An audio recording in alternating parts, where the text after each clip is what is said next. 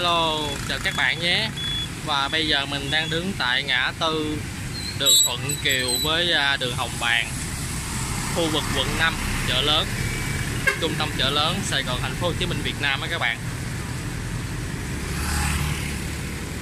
Và do hôm nay từ chiều đến giờ là có mưa. Mưa hiện tại là vẫn trời vẫn đang là mưa lâm râm nên à, con đường hơi à, bị ướt đó các bạn.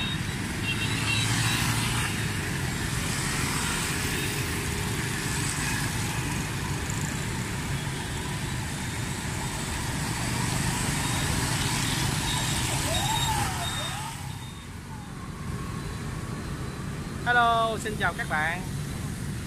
À, Trước tiên cho mình xin gửi lời cảm ơn chân thành nhất đến với à, các bạn đã vào xem video của mình nhé.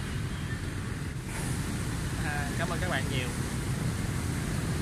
À, Video mình thì à, quay không được hay lắm Cho nên à, mong các bạn à, có gì bỏ qua cho mình nhé. Hôm nay mình muốn à, chia sẻ với các bạn cũng là một nơi một khu ăn uống một cao ốc.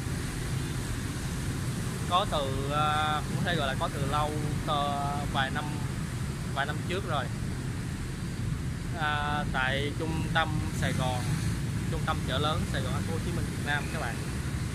Và bây giờ mời các bạn cùng mình vào tham quan khu vực này nhé.